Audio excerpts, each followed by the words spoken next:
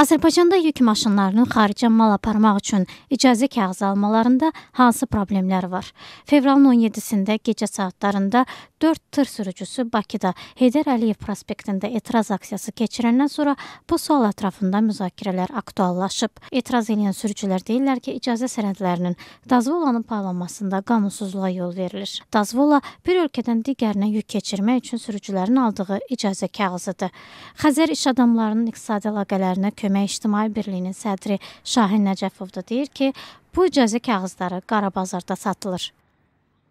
Bunlar öz şirkətlərinə bu dazvolu satır, kvota Azərbaycana verilən kvotanı öz şirkətlərinin arasında paylaşdırır.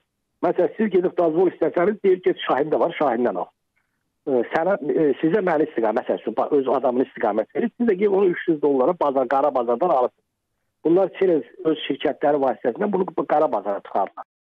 Azadlıq Radiosu bu kağızları paylayan qurum Dövlət Avtomobil Nəqliyyatı Xidmətinə bu barədə sorğu göndərsə də cavab ala bilməyib. Xidmətin rəisi Anar Rzayev fevralın 17-sində ictimai televiziya müsahibəsində deyib ki, icazə kağızlarının verilməsində hansısa qanunsuzluq halı yoxdur. O bildirib ki, bu kağızlar Azərbaycana qarşı tərəf ölkələrin hökumətləri tərəfindən məhdud sayda verilir və Azərbaycan tərəfi də bu kağızları 150 yerli şirkət arasında ədalətli və şəffaf bölüşdürür. Etiraz edən sürücüləri qəzəbləndirən səbəb odur ki, onlar daha çox icazə kağızı istəyiblər. Amma bu aksiyada iştirak etməyən, adının çəkilməsini istəməyən başqa bir yük maşının sürücüsü də Azadlıq radiosuna müsahibəsində eyni durumla üzləşdiyini deyir və bildirir ki, azı 3 şirkət var ki, bu icazə vərəqələrini hökumətdən alıb baha qiymətə satmaqla məşğuldur. 20 dollarlıq bu icazə vərəqini mövsümdən və tələbatdan asılı olaraq bəzən 100 dollara, bəzən hətta 1000 dollara almağa məcbur qalırıq. Həmin şirkətlər bu vərəqləri üzərində şirkətin möhrü olmadan əldə edirlər. Bu şirkətlərdən biri tır sürücülərinə bu icazə kağızını ötürür götürmək üçün onunla podratçı müqaviləsi bağlayır.